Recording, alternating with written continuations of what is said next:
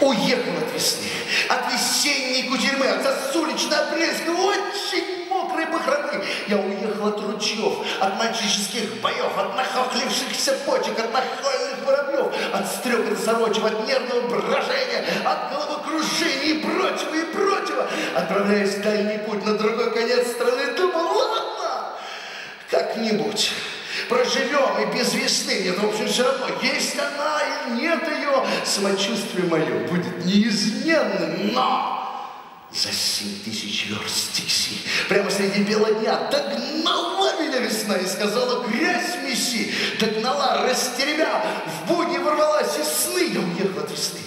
Я уехал от тебя, я уехал в первый раз от твоих огромных глаз, от твоих горячих рук, от звонков твоих подруг, от твоих горючих слез. Самолет меня унес, думал, ладно, не впервые. Покажу характер свой, хоть на время убегу. Я ведь сильный, я смогу.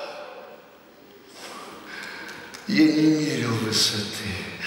Чуть видна земля была, но увидел вдруг, вошла в самолет летящий ты в ботах, в стареньком пальто и сказала, знаешь что, можешь не убегать. Все равно у тебя из этого ничего не получится. Thank you.